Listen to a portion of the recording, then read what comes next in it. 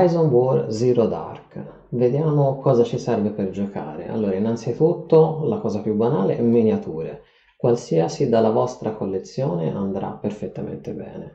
Un gioco tipico prevede dalle 3 alle 6 miniature, ma più comunemente 4. Ad un numero di miniature di eroi andrà a corrispondere un numero contestuale di miniature nemiche. 4 eroi saranno necessari almeno 4 soldati semplici,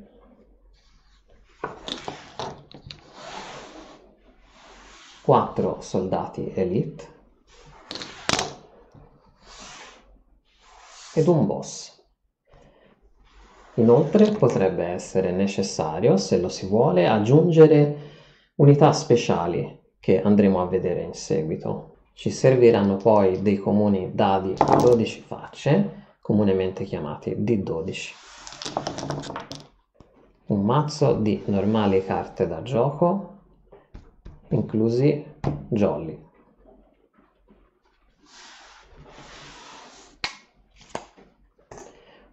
Questo servirà a governare le unità nemiche durante il gioco. Inoltre, come in altri giochi di miniature, sarà necessario eh, righelli e misuratori di vario tipo o semplice metro che si ha a disposizione. Anche qui, come in tutti gli altri giochi, le misure sono espresse in pollici. Infine ci servirà una superficie sulla quale giocare.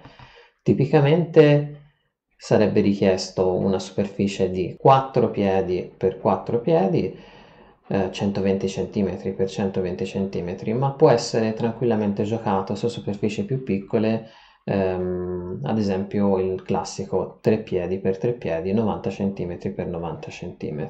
Zero Dark può essere giocato in solitario contro i nemici controllati dalle carte, cooperativo esattamente come in solitario ma controllando gli eroi in gioco insieme ad un'altra persona, o competitivo, quindi uno contro l'altro mentre i nemici sono controllati dalle carte e fanno da sottofondo al gioco.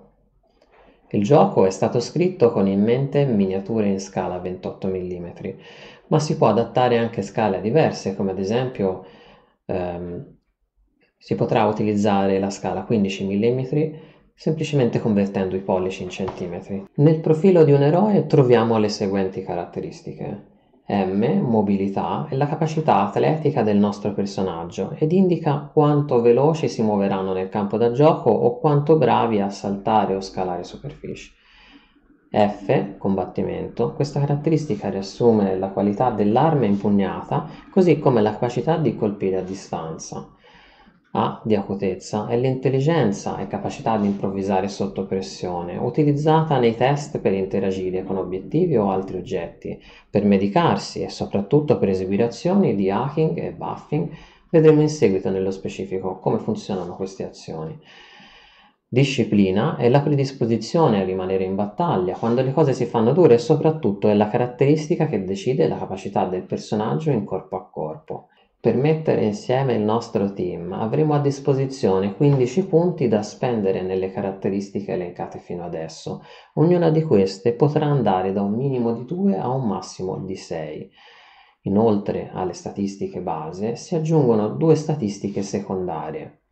AV, valore armatura, questo valore parte da una base di 1 e può essere gratuitamente incrementato a 2 o ridotto a 0 per migliorare la mobilità del personaggio. Inoltre sarà possibile aumentare ulteriormente questo valore acquistando dei miglioramenti. FW è Firewall, la capacità di difendersi da attacchi elettronici. Il valore base anche qui è 1 o 2 se il personaggio è un sintetico. Vedremo dopo in maggiori dettagli cosa vuol dire sintetico.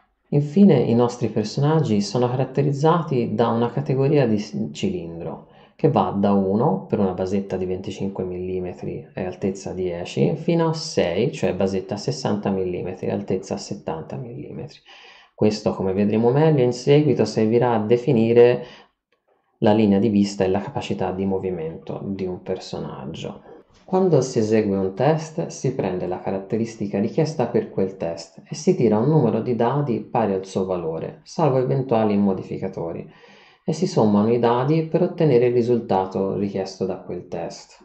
Quindi ad esempio se un test richiede di utilizzare la disciplina di un personaggio, come ad esempio disciplina 3, vuol dire che andremo a tirare 3 solidadi. A quel punto ci interessa sapere qual è il valore che ci fa ottenere un successo. Mettiamo caso che il valore è 10, quindi tiriamo i tre dadi e andiamo a sommarne il valore per stabilire se abbiamo raggiunto il valore che stavamo cercando.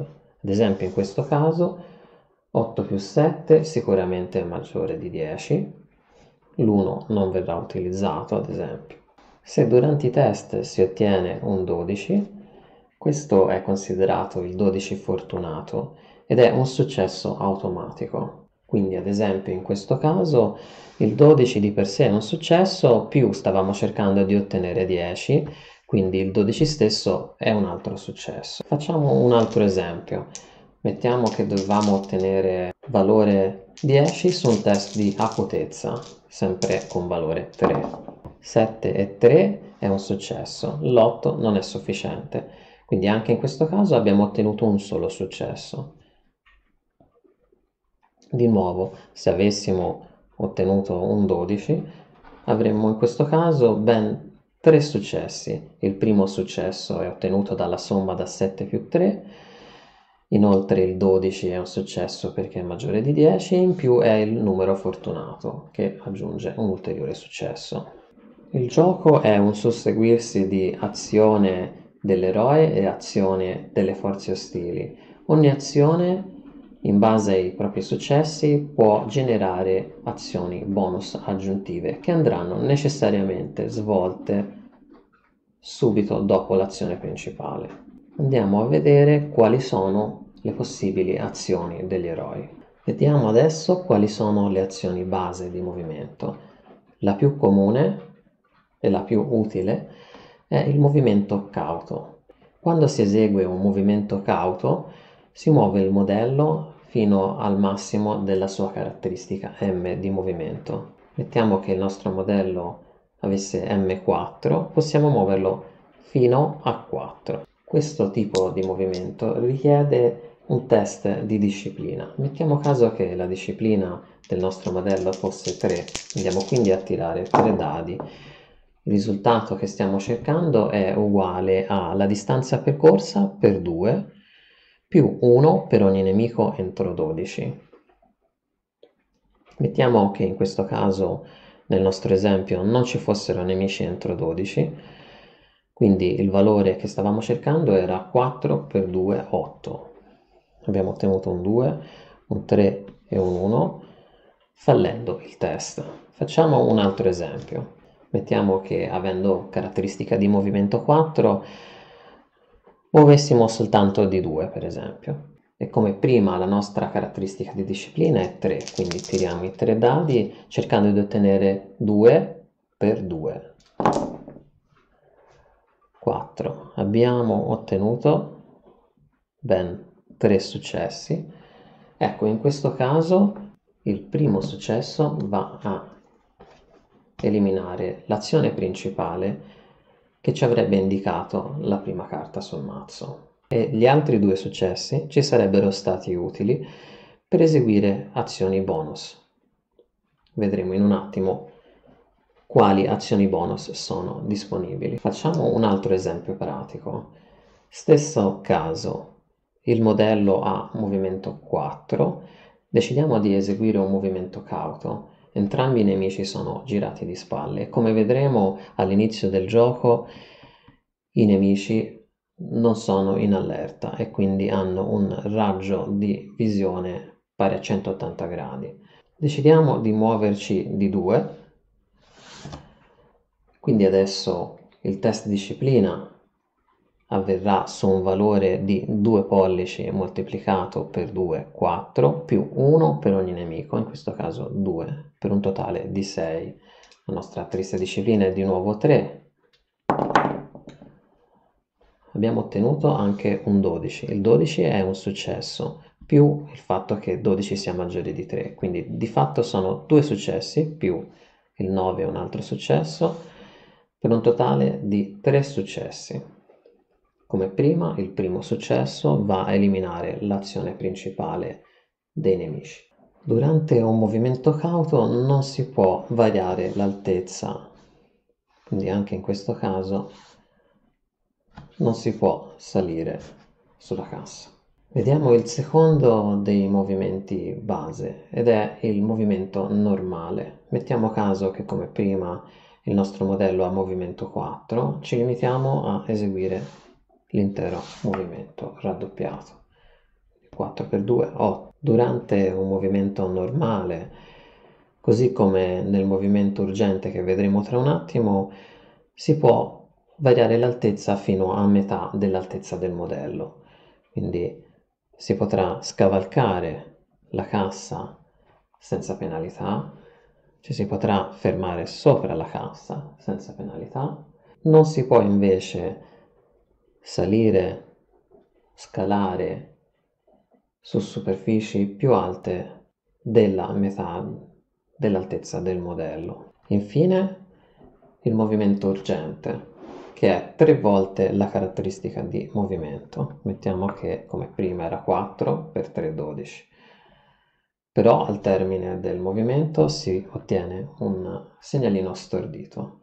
Se un eroe ottiene lo stato stordito, tutte le sue statistiche sono ridotte di 1, non può più eh, eseguire movimento urgente.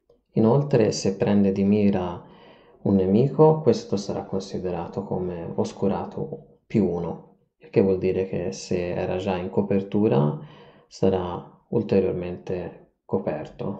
Vedremo poi come funziona la copertura in questo gioco. Per togliere un segnalino stordito richiede un'azione quando il personaggio eroe non è in vista di un nemico, altrimenti durante un'azione medicare, anche se l'effetto dell'azione medicare non è effetto, si rimuove un segnalino stordito. Per ogni azione si rimuove un segnalino. Se invece ad essere stordito è un nemico, si annulla la prima girata della carta del mazzo, quindi l'azione principale dei nemici. Una volta risolta l'attivazione dei nemici, tutti i nemici prendono eh, stordito meno 1, quindi in questo caso tornano normali. Vediamo adesso le azioni di movimento avanzato. La prima è saltare su o giù da una superficie. Ad un personaggio è permesso saltare fino a un massimo della sua altezza e bisogna eseguire un test movimento meno valore di armatura e ottenere un risultato di 10 per riuscire. Quindi mettiamo ad esempio che come prima il personaggio avesse una caratteristica di movimento di 4 e il suo valore di armatura è 1. 4 meno 1, 3, il numero di dadi che si va a tirare e bisogna ottenere un 10. Abbiamo ottenuto 4, 12 e 8 quindi il 12 come sempre è un numero fortunato che ci dà un successo automatico, più abbiamo ottenuto il 12 che è maggiore di 10, quindi sono due successi più che sufficienti per saltare sopra questo container. In questo caso l'ostacolo ha una superficie maggiore della larghezza della basetta e quindi ci si ferma sul bordo. Se invece l'ostacolo da saltare avesse avuto una superficie di larghezza inferiore o uguale alla basetta, il personaggio sarebbe atterrato dal lato opposto. Se si sta invece cercando di salire saltando in alto una superficie maggiore o comunque fino a doppia dell'altezza del personaggio, il risultato da ottenere non è più 10 ma 13. Mettiamo anche in questo caso movimento 4 meno armatura 1, 3, 3 dadi dovevamo ottenere 13, quindi un solo successo, ma è sufficiente a salire sopra. Mettiamo invece che si voglia eseguire un'azione di saltare da a una superficie. Per eseguire questo tipo di salto il test è il solito di prima, quindi movimento meno valore dell'armatura, ma il risultato da ottenere sarà il doppio del valore che si sta cercando di saltare. Quindi in questo caso 2 pollici per 2, 4. Tirano quindi di nuovo i nostri tre dadi, movimento meno valore dell'armatura, 4 meno 1 per questo personaggio e bisogna ottenere, come detto, 4. Per ogni successo sarà un pollice di distanza. In questo caso abbiamo ottenuto due successi che sono sufficienti per saltare dall'altro lato. Avessimo ottenuto un solo successo saremmo cascati giù. Dunque quando si cade mentre si sta tentando di attraversare uno spazio, si subisce due colpi per ogni pollice di caduta arrotondati per difetto. Si può contrastare questi colpi con un test sul valore dell'armatura, cercando un risultato pari al numero di colpi subiti. Quindi facciamo caso, siamo caduti da qui, quindi sarebbero due pollici e mezzo, quindi due pollici di caduta, 2 per 2 4 colpi il che vuol dire che il nostro dermatore era 1 tiriamo un solo dado e dobbiamo ottenere più di 4 avendo superato il test non si subiscono ferite. Si può salire una scala di questo tipo senza problemi con un normale movimento. Mentre una scala di questo tipo richiede un'azione arrampicarsi. Si può arrampicare massimo fino al valore della capacità di movimento meno il valore dell'armatura. Quando ci si arrampica ci si muove fino a doppio del movimento meno il valore dell'armatura. Se mai questo valore fosse 0 o inferiore, allora il personaggio è troppo pesante per salire la scala e arrampicarsi. Quindi nel nostro esempio, se la nostra caratteristica di movimento è 4 e il valore di armatura è 1 e si sta cercando di salire 2 pollici e mezzo. Lo si può fare perché 4 meno 1 è 3, quindi fino a 3 pollici avremmo potuto arrampicarci. Quindi possiamo muoverci quindi per un totale del doppio della caratteristica di movimento, quindi 8, meno il valore dell'armatura 1, 7 in totale.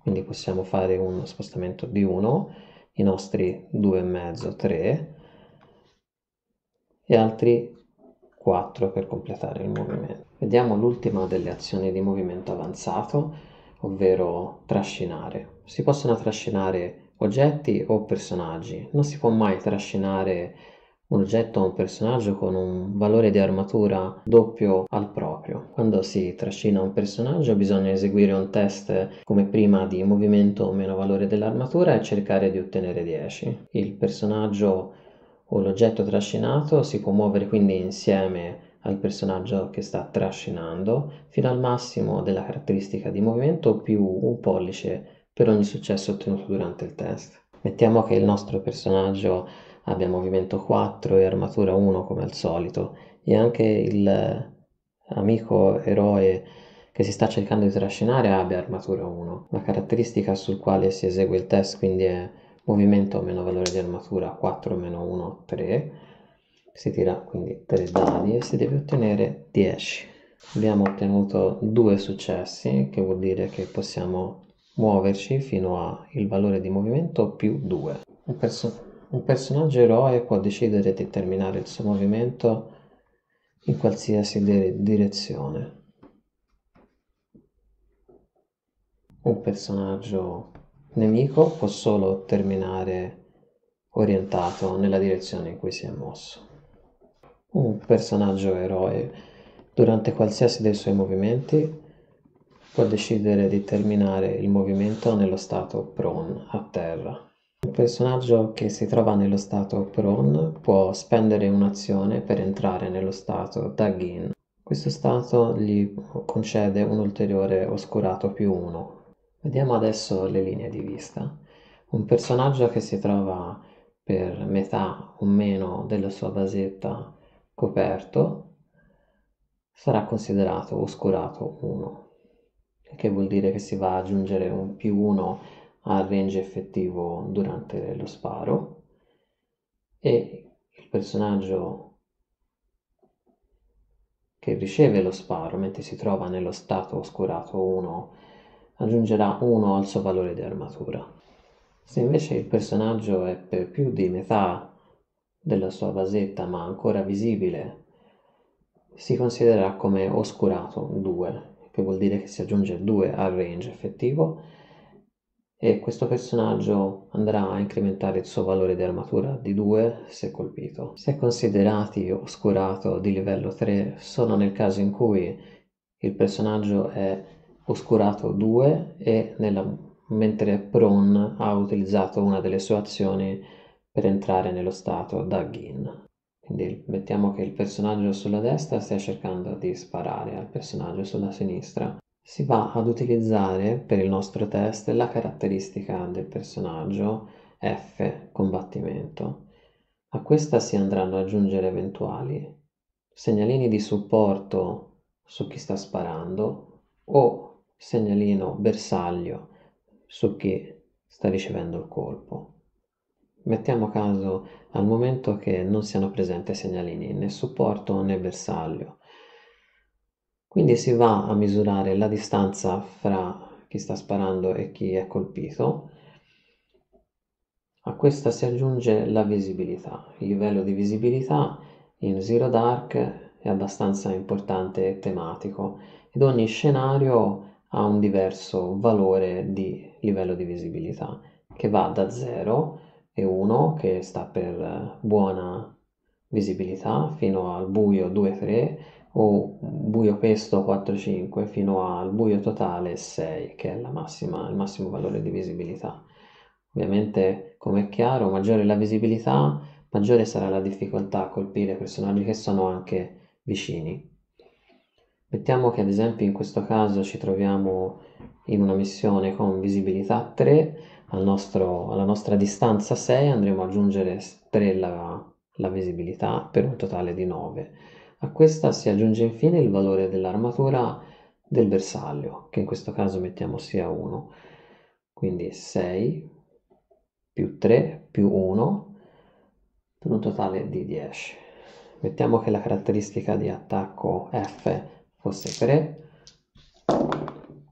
si tira 3 dadi 7 3 10 siamo riusciti a ottenere un successo. Il nostro bersaglio potrà tentare di difendersi e parare il colpo eseguendo un test sul proprio valore di armatura come caratteristica. In questo caso abbiamo detto che era 1 quindi un solo dado e ottenere uno dei valori dei dadi con il quale si è formato il successo quindi o 3 o 7 avendo fatto 11 non si va a annullare nessuno dei dadi con quali si era formato il successo e si incassa una ferita. Potete indicare i segnalini di supporto e bersaglio in qualsiasi maniera vi sia più comoda. Ho utilizzato ad esempio in questo momento questo dado come segnalino supporto e questo scudo come segnalino bersaglio Rifacciamo quindi il nostro esempio. Se la distanza è 6, la visibilità è 3, abbiamo detto 9 più 1, l'armatura 1, il risultato del dado da ottenere quindi è sempre 10. Però se la nostra caratteristica F era 3, adesso è aumentata di 1 per il segnalino di supporto e 1 per il segnalino bersaglio, quindi per un totale di 5 dadi.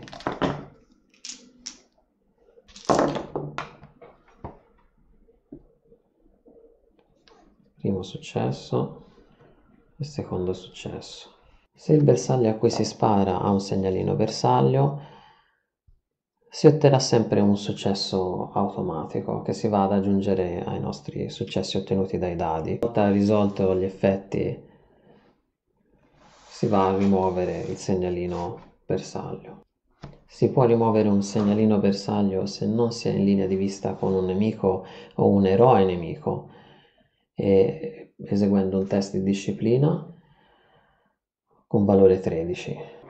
Quando con un'azione di movimento si entra in contatto di basetta con un personaggio nemico o eroe nemico, si eh, ottiene un'azione bonus di combattimento corpo a corpo. Durante un'azione di combattimento corpo a corpo entrambi i personaggi testeranno, quindi entrambi tireranno i dadi allo stesso momento applicando eventuali modificatori.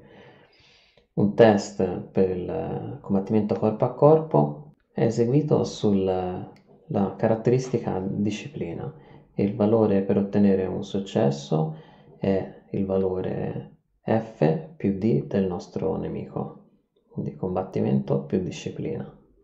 Ogni successo sarà un colpito. Questi successi non possono essere parati a meno che il nostro nemico non indossi un'armatura speciale.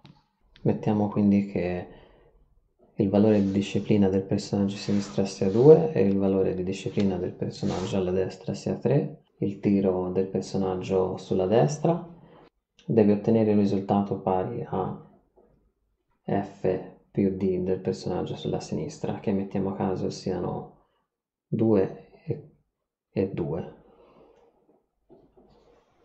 Tale di 4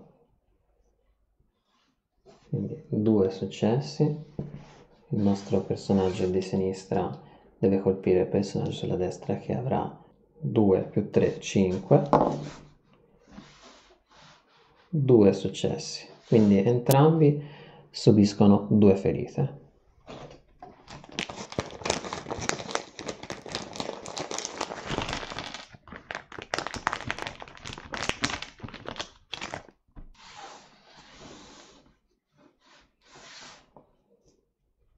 Quando un personaggio subisce un attacco a distanza, anche se questo fallisce, sarà necessario testare per lo stress. Questo avviene sul valore di disciplina e bisogna ottenere un valore di 10. Mettiamo ad esempio che, che questo personaggio abbia disciplina 2, non ha passato il test allo stress, quindi ottiene un segnalino stress. I segnalini stress sono cumulabili fino a un massimo di 4. Quando il test è fallito, il personaggio automaticamente ottiene un'azione bonus di movimento per permettergli di muoversi in copertura.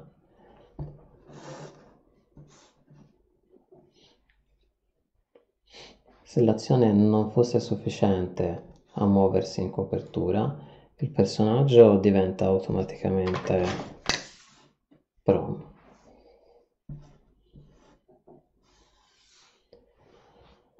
Se l'azione di movimento non fosse sufficiente a metterlo in copertura, allora il personaggio praticamente lo stato prone. Quando un personaggio ha un segnalino stress, non può eseguire altre azioni che quella di recupero che vedremo tra un attimo. Se il personaggio avesse superato il test, come in questo caso, allora si rimuove un segnalino stress ed eventuali successi aggiuntivi si possono spendere subito per azioni bonus. Un'azione di recupero serve appunto a recuperare un personaggio che si trova a un segnalino stress. Si esegue sul valore di disciplina e bisogna ottenere 10. In questo caso è fallito. Se invece riesce a ottenere 10 o più, si va a rimuovere un segnalino stress. Un'altra possibile azione è quella di medicare. Si può medicare se stessi o un altro personaggio in contatto di basetta. Il test si effettua sulla caratteristica acutezza e bisogna ottenere 13. Ogni successo rimuove una ferita. Esempio in questo caso un successo va a rimuovere una ferita. Soltanto personaggi nello stato ferita 1 o 2 possono curare se stessi. Un'altra possibile azione è quella di interagire con un oggetto se non differentemente specificato dalla missione, questa è un'azione automatica che non richiede nessun test.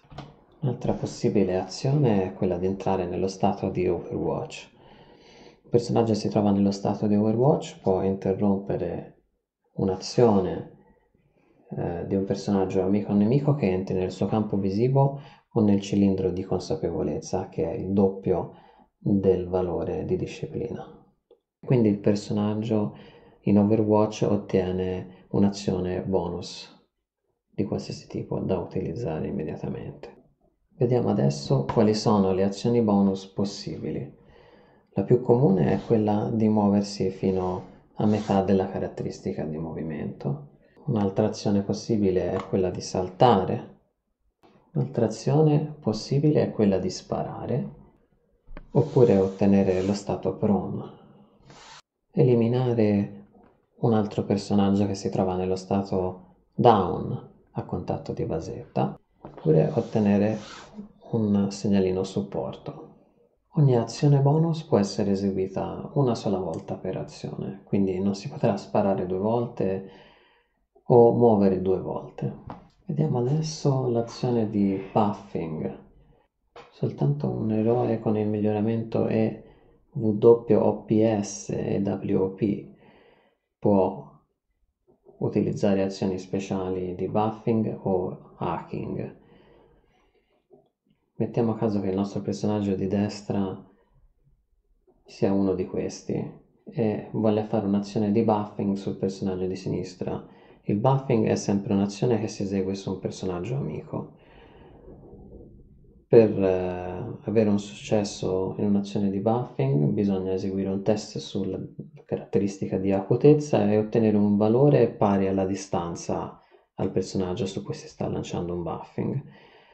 Quindi mettiamo che il nostro personaggio di destra abbia un'acutezza di 4 e quindi debba ottenere 4, cioè la distanza questo caso sono ben 1, 2, 3 e 4 successi.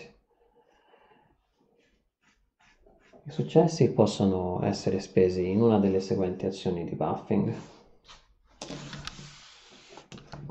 Aggiungere un segnalino di supporto. Rimuovere un segnalino bersaglio. Aggiungere 1 alla caratteristica firewall di quel bersaglio cambiare il programma di un robot amico o cambiare lo stato acceso spento di uno degli oggetti della squadra. Mettiamo invece adesso che il personaggio di destra voglia tentare un'azione di hacking sul personaggio di sinistra, quindi personaggio di sinistra è un personaggio nemico. L'azione di hacking si esegue nello stesso modo del buffing, quindi si fa un test sull'acutezza del personaggio con il valore per ottenere un successo della distanza verso la persona bersaglio su cui si sta tentando l'hacking.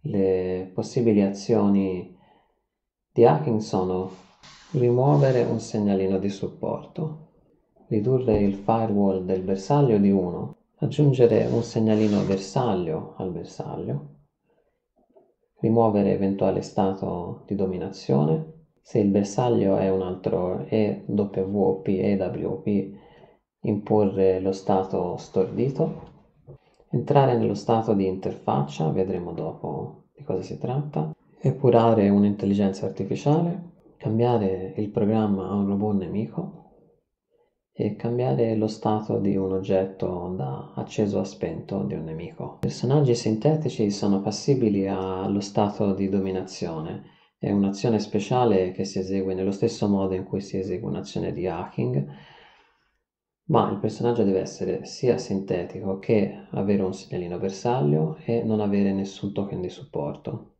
Un eh, personaggio eroe dominato perde qualsiasi miglioramento e ottiene lo stato dominato. Manterrà le stesse caratteristiche, ma sarà controllato dal personaggio che ha eseguito l'azione di dominazione.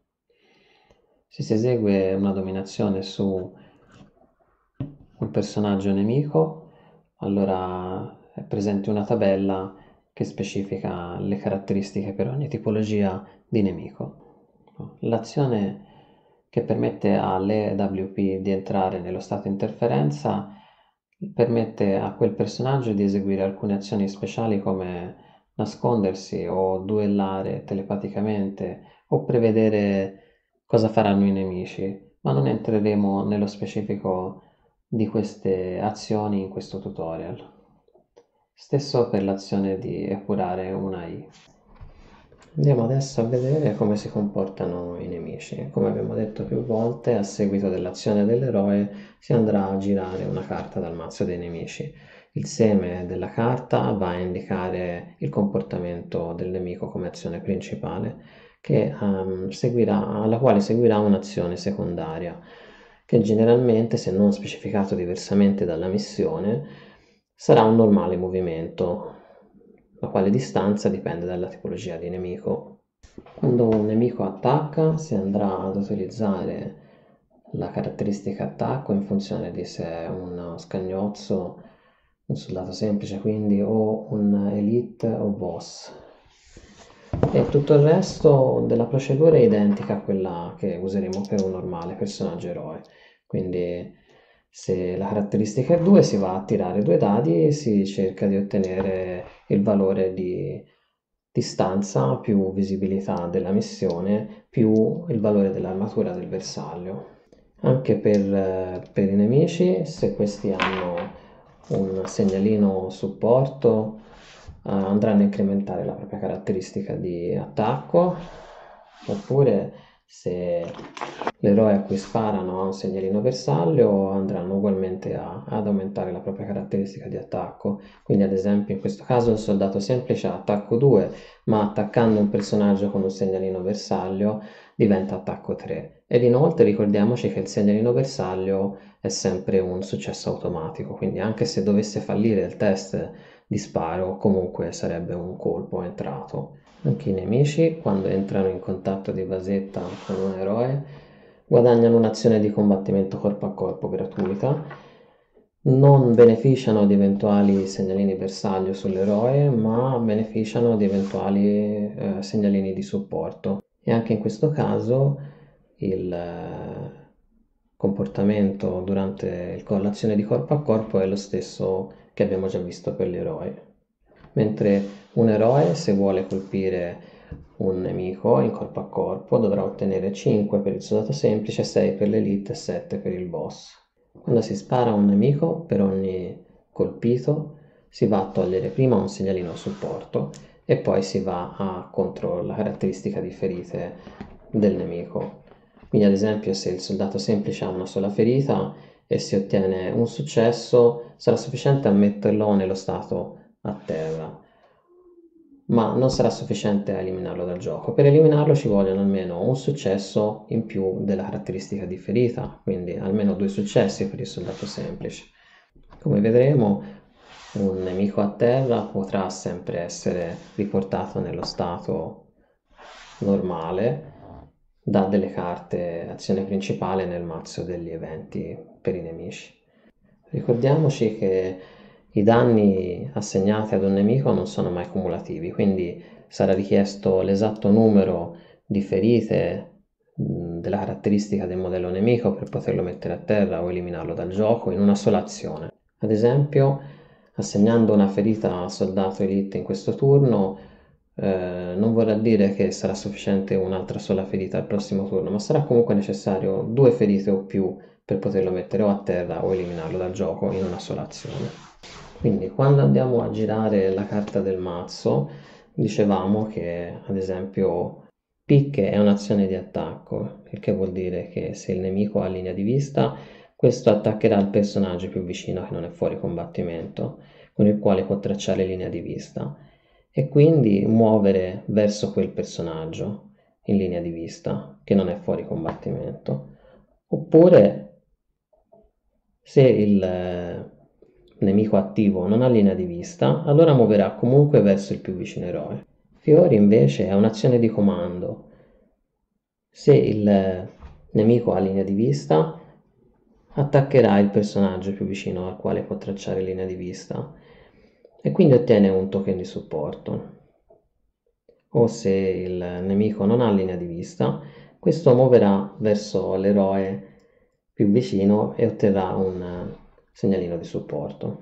Query è un'azione di supporto, il che vuol dire che il nemico attivo e il più vicino nemico a questo ottengono entrambi un segnalino di supporto. E se c'è anche solo uno dei nemici a terra, questo non sarà più a terra.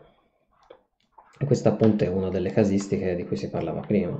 Quadri è un'azione tecnica, il che vuol dire che il nemico ottiene un segnalino di supporto e il personaggio più vicino che non è in uno stato di bersaglio ottiene un segnalino bersaglio. Oppure, se tutti i personaggi hanno il segnalino bersaglio, allora il nemico attaccherà il più vicino personaggio, ignorando la regola sulla linea di vista. I nemici possono avere un numero di segnalini di supporto pari al loro tipo, quindi un soldato può avere un massimo di un segnalino di supporto, un elite può avere massimo due e un boss tre segnalini di supporto. Quando si spara ad un nemico si andrà sempre ad aggiungere la caratteristica di difesa, che varia in funzione del tipo di nemico. Quando si pesca un uh, numero, quindi da 2 a 10, questo vuol dire che andremo a attivare un soldato semplice. Se invece peschiamo una figura, allora andremo a attivare un elite. Un asso vuol dire eventuale boss. Ed infine i jolly il jolly vuol dire una complicazione, quindi un evento. Esistono due tabelle di eventi, una è quella base ed una è quella di complicazioni avanzate. Per decidere quale evento si lancia semplicemente un dado e si va a controllare la tabella. Generalmente gli eventi implicano l'arrivo di nuovi, di nuovi nemici. Qualora estraessimo una, un numero e non ci fossero nemici di quella tipologia disponibili sul campo, si muove subito alla tipologia successiva, quindi in questo caso se dobbiamo attivare un soldato semplice e questo non è presente, si va ad attivare un soldato elite. Se anche questo non fosse presente, si attiva di nuovo quello successivo, quindi un boss. Se anche il boss non fosse presente, allora si va ad attivare un evento. Come si può vedere dal manuale, sono contemplate anche altre tipologie di nemici quando il giocatore prende confidenza con la meccanica di gioco, eh, nemici che sono in grado di apportare attacchi di tipo elettronico, quindi hacking o buffing, mech, ehm, nemici di supporto pesanti o cecchini, ognuna con una specifica caratteristica o miglioramento che rende il gioco più interessante. Eh, oltre a questi esiste la possibilità di fare entrare in gioco dei nemici sintetici, che possono essere quindi dei robot o un'intelligenza artificiale. Quando ci verrà richiesto di, di spiegare i nemici sul terreno di gioco, generalmente la missione specifica quali sono le condizioni e le modalità, ma generalmente ci viene chiesto di immaginare una griglia 12x12 con al centro in 6-6 ehm, l'obiettivo principale. Si attirare due dadi che rappresentano le varie colonne e le righe per trovare l'intersezione dove andare a collocare il nemico. Nel manuale poi c'è una completa spiegazione su come ehm, implementare una progressione tra missioni, quindi una modalità campagna, come si ottiene l'esperienza e come la si può spendere per acquisire miglioramenti, ehm, come cambiare il livello di difficoltà. Ad esempio, per aumentare la difficoltà si potrebbe dispiegare i nemici con già un token di supporto, oppure per renderlo più facile si potrebbe dispiegare i nemici in uno stato con un segnalino bersaglio. In funzione della difficoltà si ottengono più o meno punti esperienza. I nostri eroi generalmente dispiegano o agli angoli o ai lati Poi c'è una missione molto base per apprendere le regole di gioco. Si incontra poi una mini campagna di tre missioni molto divertenti collegate tra loro. Ed infine ci sono altre tre missioni per il gioco uno contro l'altro, che sono state riviste e bilanciate per una migliore efficacia nel gioco competitivo. Infine un po' di storia che non guasta mai. Facciamo infine qualche accenno ai miglioramenti possibili per l'eroe. Devo dire che sono davvero moltissimi e ci permettono una vasta personalizzazione dei modelli dalle specializzazioni, quindi uno può essere leader piuttosto che medico, piuttosto che l'hacker della situazione, ai vari gadget come eh, eventuali esoscheletri o scudi di combattimento. Sono molti altri dispositivi che ci permettono di migliorare i nostri personaggi come ehm, granate, mine di vario genere, dispositivi che si possono andare a collocare in campo e sparare in maniera automatica, visori termici, eh, fumogeni, esplosivi, caratteristiche che migliorano le armi, tratti dei personaggi come inumano o particolarmente portato per eh, l'utilizzo delle armi da fuoco, ehm, stealth, così come la possibilità di, di fare dei personaggi eh, sintetici, quindi robot, droni, l'utilizzo di droni. Eh, I robot hanno una molto interessante eh, tabella che gli permette di comportarsi quando vengono programmati con l'azione ehm, durante un hacking per programmarli e seguono proprio una tabella come se fossero eh, dei veri e propri software. Poi ci sono addirittura gli alleati, eh, sono come un, ehm, una parte integrante dell'eroe, ma a tutti gli effetti un altro modello nel campo da gioco, con delle proprie caratteristiche, ad esempio il cane, quindi l'animale.